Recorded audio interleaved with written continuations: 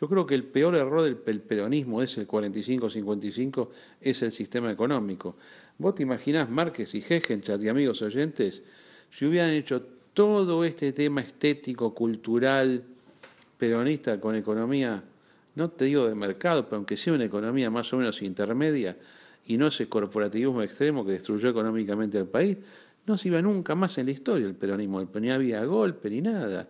El error de ese peronismo inicial era tomar los elementos de la economía fascista, pero después, en materia social y cómo se sentía la gente, si vos imaginate que vos sos un tipo alejado del poder, vos ves los que mandan en la sociedad, que son una clase social alta, y los que están entongados con, el, poder.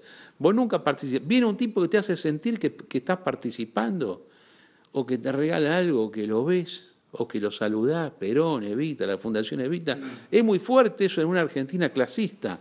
Bueno, yo quiero hablaron tantas cosas que, por un lado... Por te, hicimos, un lío. No, no, pero porque no, no tengo para anotar, pero muy rápidamente. Primero, vos dijiste recién que el 17 de octubre la gente estaba bien vestida, lo cual confirma que había una inclusión total y completa durante la época conservadora. Eso es clarísimo. Por eso, la sensación de estar al margen es subjetiva. Para, para, Una cosa es la demagogia obrerista que hace, digamos, que entretiene a las masas. Otra cosa es lo concreto. La gente vivía mucho mejor en la Argentina conservadora que en cualquier otro país del mundo. Que la gente estuviese bien vestida eh, o iba a las canchas de fútbol en galera confirmaba una idiosincrasia de lo cómo vivía el grueso, la inmensa mayoría de la población argentina. Segundo lugar, es verdad, un diputado radical, Ernesto San Martino, dijo el aluvión zoológico. Terminó, eh, se escapó de un, intento de homicidio y terminó exiliado en Uruguay. O sea, de un lado había un exceso verbal, discutible, un reproche, y del otro lado un intento de homicidio y terminó exiliado. El, el diputado San Martino, como tantos diputados de la época que se cuestionaban algo contra el régimen de Perón, eran exiliados.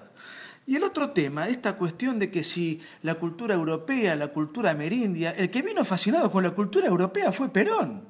Fue Perón el que se formó en Europa y dijo que acá quería implementar lo que había aprendido en Italia.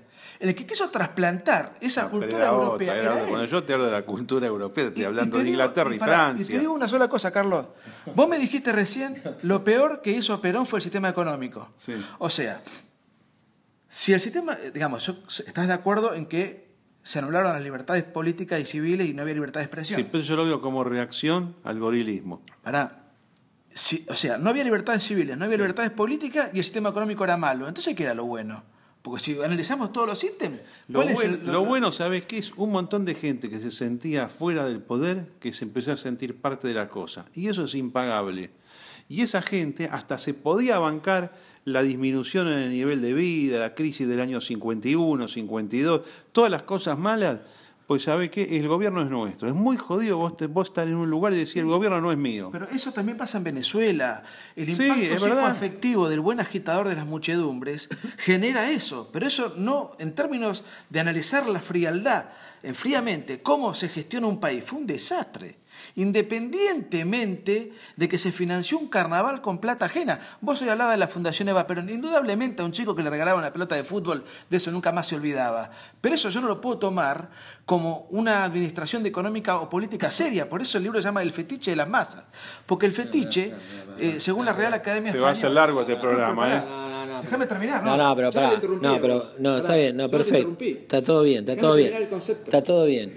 No, no, está no, está todo bien, Escúchame bien. Hagamos hagamos eh, que, que, termine el compañero No, no, pero está bien. Yo, yo cuando él habla yo no lo interrumpí. El fetiche es la adoración y objeto de culto de las comunidades primitivas.